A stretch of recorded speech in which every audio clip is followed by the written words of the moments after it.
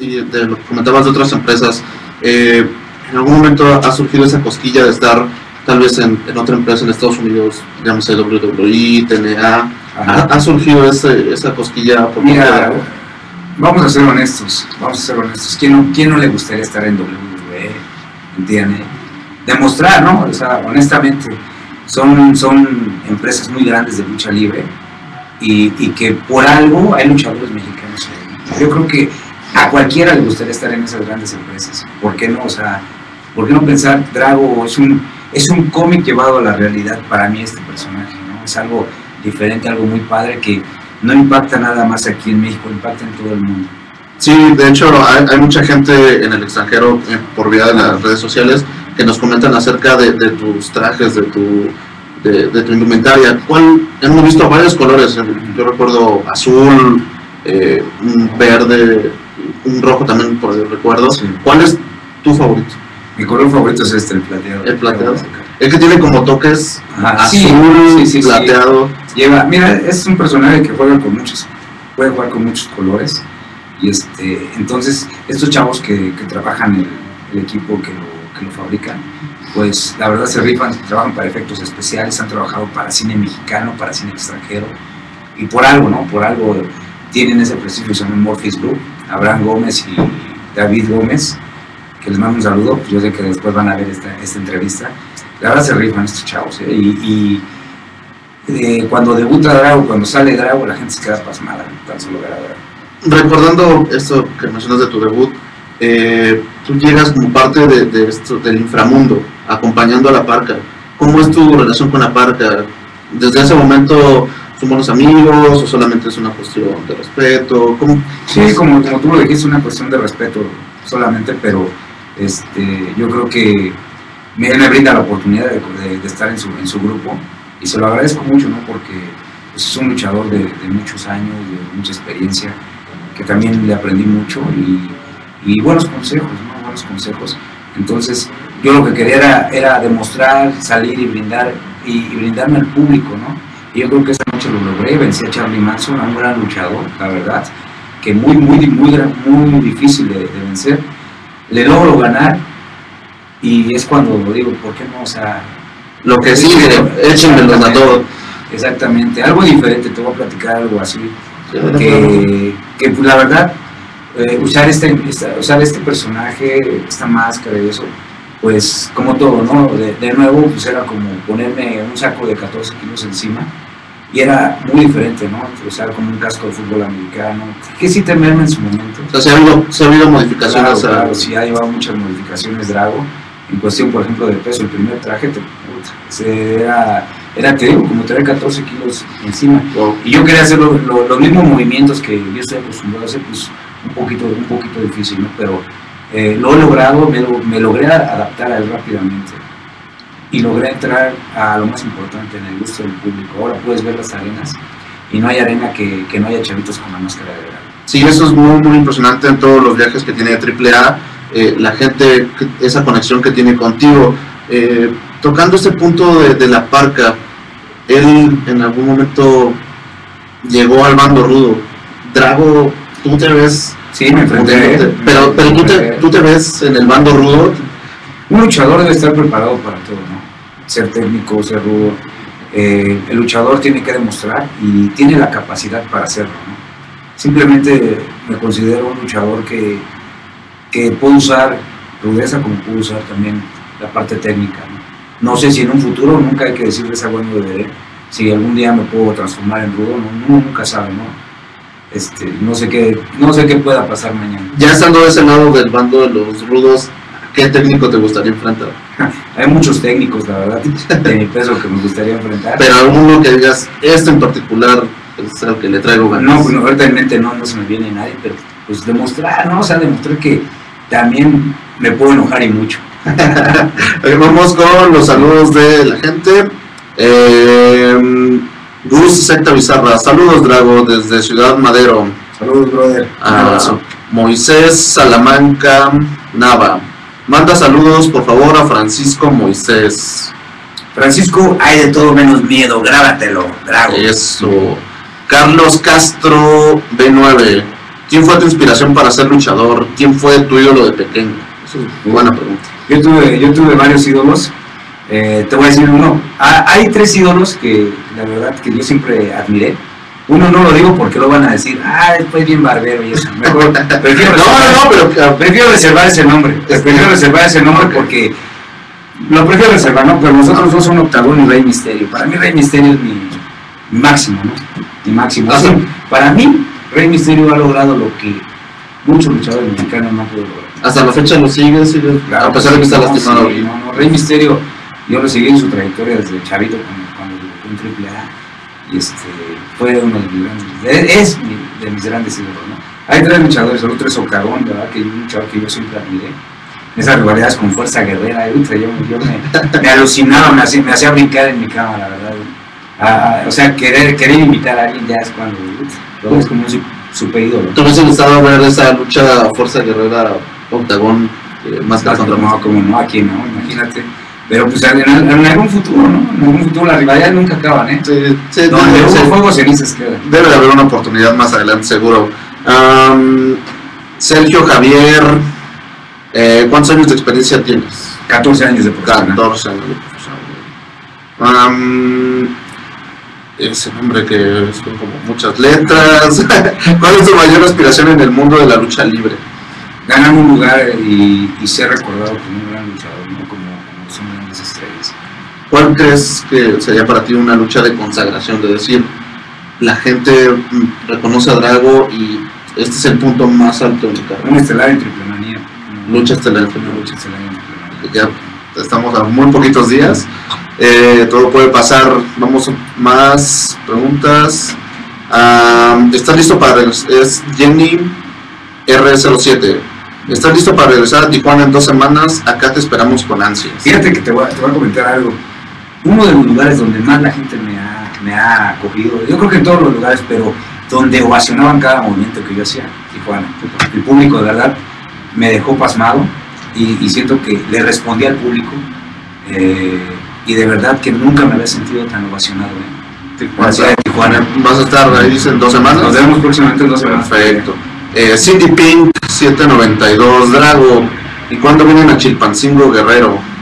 Pues por ahí está mencionando que, que van a empezar unos eventos de lucha libre y ya está Chilpancingo Guerrero en la. Así que Ahí, estén, estén bien atentos porque no tarda mucho. lucha libre a.com, ahí subimos toda la información.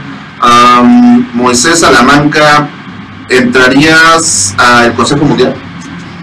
Mira, yo creo que, mm, te digo, lo, lo que yo te dije, no, nunca hay que decir esa manera, pero yo tengo los pies bien firmes en, en AAA. AAA me vio nacer, AAA me ha ido, me ha ido crecer como luchador. Yo creo que estoy muy agradecido con esta gran empresa. No, no te puedo decir únicamente, yo la AAA es mi familia, ¿no? ya es parte de mi familia y, tengo una gran estima por la dirección de AAA. Estoy completamente agradecido por muchas cosas, muchas cosas que yo te puedo decir que soy fiel a AAA. Ok. Ya que comentas esto de, tu familia luchística, eh, tu familia como persona, un, un día normal en la vida de Drago, ¿cómo es? Pues, ¿Tienes familia? Sí, tengo dos hijas, tengo dos hijas que las quiero, las amo. Pero pues a veces el tiempo, el trabajo, no te da es- esa, esa libertad mejor de convivir mucho con, con tu familia, ¿no? Y este, pues trato de estar con ellas, trato de, de, de que, de darles un- una buena educación, buenos ejemplos, ¿no? Pero pues sí, o sea, salir a controlar y todo eso. ¿Ellas saben que, que eres luchador o tienen idea? Sí, no, mis hijas saben que soy luchador. De hecho, mi hija Lana tiene tres años y siento que lo lleva en la sangre, como yo cuando nací, que... ¿Te, te, te gustaría que fueras luchador? ¿En serio? ¿Sí, sí las apoyarías?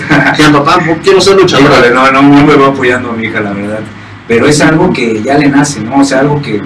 Un instinto que, que yo nací con él, la verdad.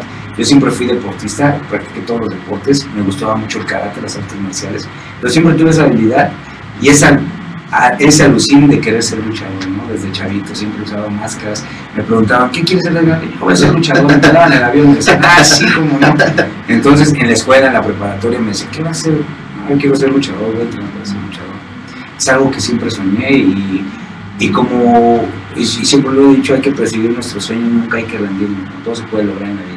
Entonces, mi hija, yo siento que ya ese instinto lo tiene, ¿no? La más grandecita se llama Alexia, este, ella no, ella es más así como que más, más retratada en muchas cosas, pero Dana sí, Dana es un instinto que ya trae de habilidad. ¿Y si, te van a echar porras a, a no, no, o... de hecho no, no me gusta porque llegan a, espantarse, ¿no? Y de hecho no, no, mi hija Dana no, nunca le he llevado, bueno sí, le he llevado varios eventos muy contados, Alexia no, no, no le gustan muchas casi, y de hecho no, mi familia, mi mamá por ejemplo no le gusta ni, ni verme por televisión, le da mucho, muchos nervios. Mucha ansiedad. Sí, como que quiere y no quiere, como que se asoma y no se asoma, pero este, es que sí debe de ser muy difícil para la familia ver cómo, sí, no, pues sí, cómo alguien tan importante para ellos está sufriendo. En el caso, por ejemplo, de psicosis, se me viene a la mente de la, no, no, sí, las grapas. ¿no? Fíjate que sí es algo, de verdad que yo creo que había visto mis hijas, pues se trauma, ¿no?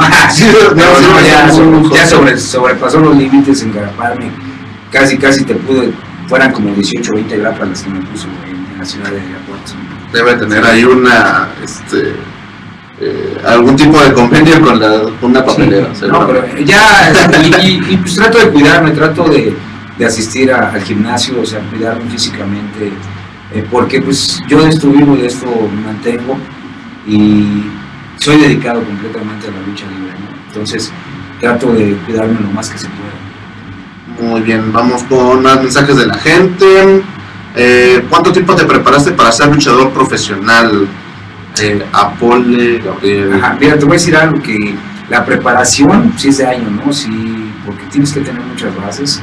Entonces, ya cuando traes la habilidad, pues, y te avientas al ruedo, es cuando realmente empiezas a aprender lo que es la lucha libre, empezarlo a luchar. O sea, eh, ah, puedes aprender eh, entrenando muchas cosas, pero donde en realidad te capacitas y aprendes a luchar, es luchando.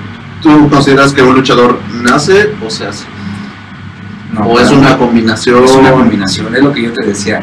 Tienes que tener esa habilidad, tienes que sentirlo, tienes que llevarlo en la sangre, ¿no? Yo siento que, que la lucha se lleva, ¿no? O sea, el instinto de, de cualquier movimiento, la habilidad para hacerlos y todo. Puede haber gente que a lo mejor tú dices, este puede ser luchador, pero no tiene la habilidad que, que un principiante la puede tener, ¿no? Aventarte un mortal, no sé, muchas cosas, muchas cuestiones, pero es una combinación para mí eso, ¿eh?